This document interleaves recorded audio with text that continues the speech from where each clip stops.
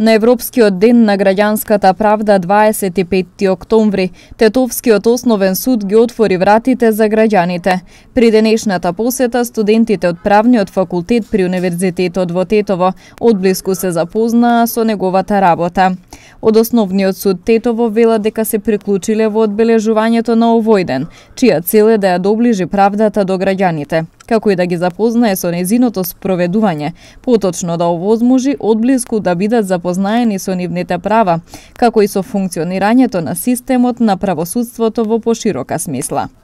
Министерот за правда Никола Тупанчевски вели дека последниот извештај на Европската комисија во однос на правосудството во земјава покажал благо поместување.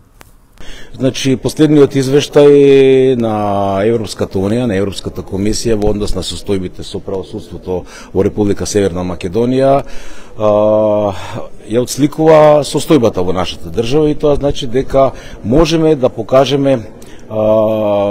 мало задоволство би рекол во однос на поместувањето на нештата во позитивна насока. Значи кога станува збор за независно судство, во извештајот беше констатирано дека има поместување. Се разбира дека тоа е благо и дека е далеко од доволно. Меѓутоа дефинитивно тоа уште еднаш му дава додадена вредност на нашиот предизвик дека на вистина треба да се мобилизираме и да ги стигнеме да ги достигнеме европските вредности кои што од нас се бараат, меѓутоа тоа да не го направиме само за Европа, туку да го направиме и за внатрешни потреби. Како и да е, во секој случај, значи еве денешниот ден, Европскиот ден на правдата представува уште една можност за афирмација на европските вредности од една страна, меѓутоа уште еднаш да потврдиме дека се наоѓаме на вистинската траекторија во правна смисла на зборот, дека се движиме во насока науката која што не е необходна, не само за апроксимација, туку и за а, ревизија на оние состојби кои што досега беа речиси негативно оценувани.